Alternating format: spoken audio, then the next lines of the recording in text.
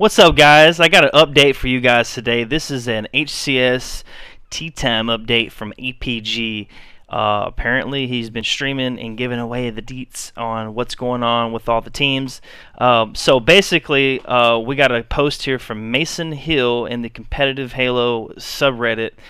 Uh, he says APG is streaming right now and is answering any question people ask about roster stuff. Uh, some stuff that he's said from the stream basically goes Renegade isn't going anywhere right now. If he was going to go anywhere, it would be FaZe. He won't be playing with C9 though, so it's kind of in uh, you know he's kind of in limbo. So that's pretty interesting to note. And then also he notes that, or he says that Renegade, Snip3down, Bubudubu, and Phallicated are a possible FaZe roster. Um, there is an alleged deal to trade Renegade for Bound, so I thought that was interesting, and it kind of makes sense. I mean, Bound's going to go to C9 you know, there it's got to be some kind of trade-off. And Bound fits pretty well, I think, with C9. So we'll just have to see. They did get beat this past Pro Series, but we'll have to see how that goes. Um, and then to the question, are Bubudubu and Foul staying with FaZe? And he replied, maybe. Uh, they are trying to. This sort of dispels, you know, the E United rumor, so that's pretty cool. Um, I know that Why Not Bcastin did a, an a update video last night about the E United situation that possibly maybe uh, Phallicated and Bubudubu would be joining uh, King Nick and Spartan, which would actually might actually probably be a really good roster. I, I think it would work.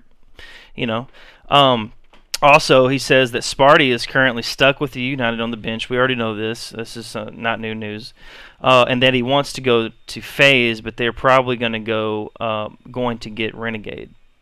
Um, so FaZe would get Renegade, and Sparty's going to be stuck with his current roster unless Rain and Rhino decide to go and team up with Arctic and Suspector, which is the uh, the current rumor. Um, also, Ola does not have a high buyout price like HCS Intel apparently said, so you can't take everything they say with you know with 100% validation. So I know they get all these uh, these leaks and rumors, you know, and all these inside sources, but we can't ever like 100% verify those. You know, it's just it's one of them things. It's a, it's in limbo. uh, apparently, Frosty was never in Canada for two weeks. That was all a lie. Um, I don't even know about that. Whatever. I don't really watch Frosty stream a whole lot. I do pick it up sometimes, but I, I didn't even know about that. Okay. And Lethul is not getting dropped. Apparently, not anymore in quotations. So, pretty interesting stuff. I don't really think they should be dro- trying to drop Lethul at all. Just based off of what they just did at Kansas City.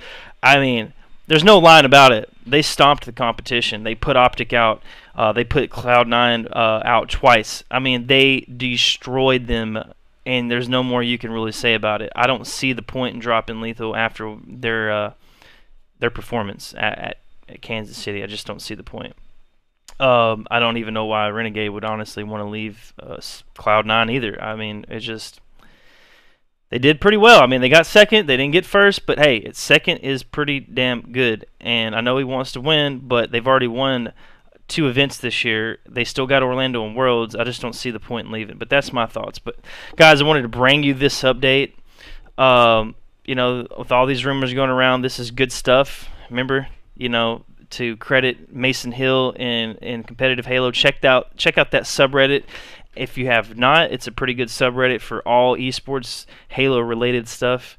But uh, anyways, this is going to be the end of this video, guys. I just wanted to bring you that and some of my thoughts on it. I'm going to keep it short and sweet. But anyways, if you like this stuff, hit that like button and, uh, you know, subscribe, you know. I'll, I'll be putting out more stuff like this here in the future as time goes on. So, all right, guys, y'all have a good day and take it easy. Peace.